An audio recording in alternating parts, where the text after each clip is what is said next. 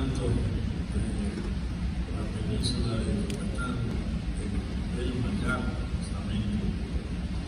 Ahora nos vamos a trasladar a otra región, lo demás, bellísima, la cuenca del Papaloapan.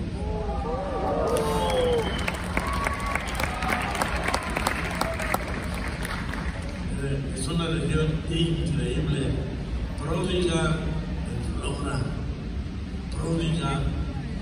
fauna,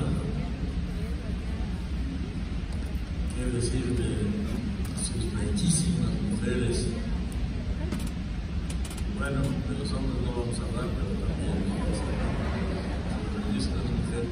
Bueno, pero, bueno, la hospitalidad de la gente, la gastronomía, pero, ya ven, pero, vamos y nos encontramos sobre todo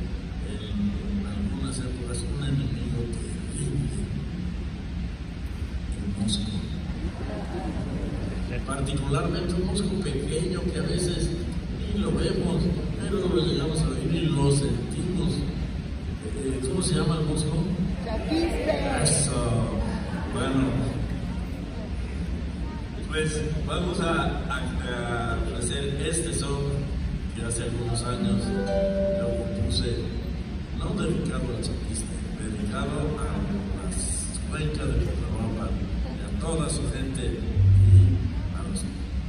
y